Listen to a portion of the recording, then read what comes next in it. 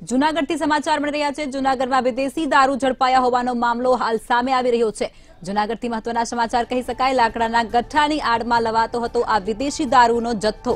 ત્યારે દોલતપરા નજીકથી ઝડપાયો હતો આ વિદેશી દારૂ ભરેલો ટ્રક.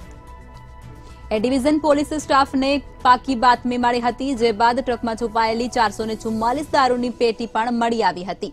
ત્યારે પોલીસે કુલ એકત્રીસ લાખનો મુદ્દામાલ કબજે કર્યો છે. ત્યારે દારૂના જથ્થા સાથે પોલીસે બે શખ્સોને પણ દબોચી પાડ્યા છે.